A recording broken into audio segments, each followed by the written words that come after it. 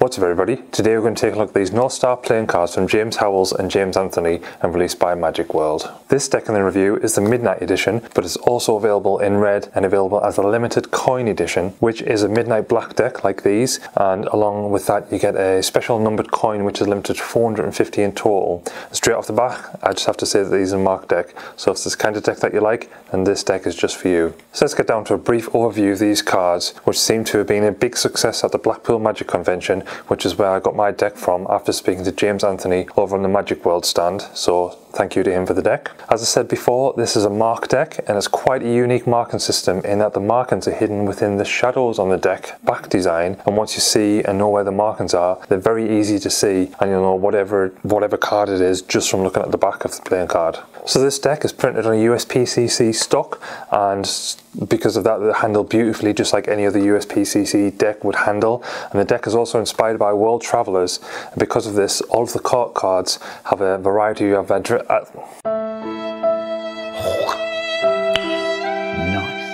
The court cards, they all have a variety of adventures on them, ranging from different people like Christopher Columbus to Francis Drake, and even the Moonwalker himself, not Michael Jackson, Neil Armstrong. Along with the deck itself, there's also a page on the Magic World website which has a section for some tutorials, information on the Facebook group, and also four routines from Mark Elsdon which are available on there. So how much do they cost? These are currently available on the Magic World website for £15 as a recording video, but they're usually £17 on there for the marked version of these cards. There's also an unmarked red version which is available on the website for £8.50. So let's get started with the deck and the tuck case. It's a black case which features the large North Star logo on the front of the case and the text Midnight Edition underneath that. On one of the sides is a text saying North Star playing cards and on the other side is a sextant. On the bottom of the deck there's just some ad copy to say that they're designed by James Howells and manufactured by USPCC. There's also another North Star on the bottom too at the side there. On the tuck flat there's another star and also a quote which says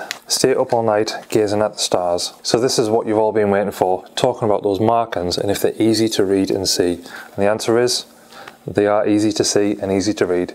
Even at an arm's length, the markings are very clear and in the right light you could possibly extend that distance further and still see what cards someone is holding. The cards have a border design and within the border there's another border and then the cards have a black and grey style design which features two large circular designs in the middle. The markings on the card are in the top left and the bottom right so even in the spread across the table if you give it enough spread you'll still be able to see the black design and see which card it is. In the deck you get some additional cards so one of them is the double backer you also get two identical jokers, which say the words, you cannot discover new oceans unless you have the courage to lose sight of the shore. You also get a neat little addition, which is the, a look at all the court card designs, and under each one has the name to say who it is.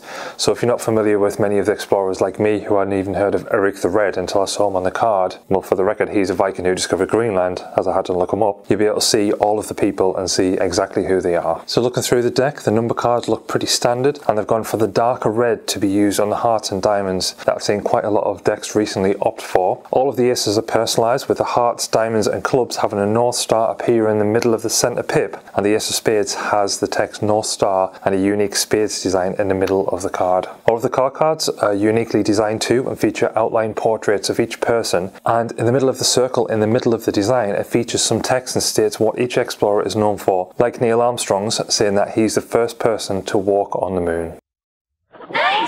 So how do they handle? They are USPCC printed, so like any other bicycle USPCC playing card, they handle really nicely. Seem to faro easily, spring nicely, and have a nice feel when spreading through the deck and just overall as a deck. They're nice to handle, take any slides or shuffles that you want to throw at them, so can't really complain at all. So the conclusions, overall it's a really nice deck in terms of handling, how the deck looks, and of course those added bonus of those devious markings, which you can use for a range of mentalist tricks, predictions, or just about anything else you can think of with using a marked deck. So the first time I saw them at Blackpool, I couldn't see the markings, but once I was shown by James, I was able to see them, and now that I know where they are, I can't unsee them. Because of this, now the deck is now in my top 5 marked decks for sure. Hope you enjoyed the video, and when I get around to doing a top 5 marked decks video, it's definitely going to be in there, so keep an eye out for that one. If you got this far through the video and you're not subscribed, it'd be great to help the channel and give the, the channel a subscribe, as we're nearing 2,500 subs, which is absolutely amazing. Leave a comment what you thought of the deck too.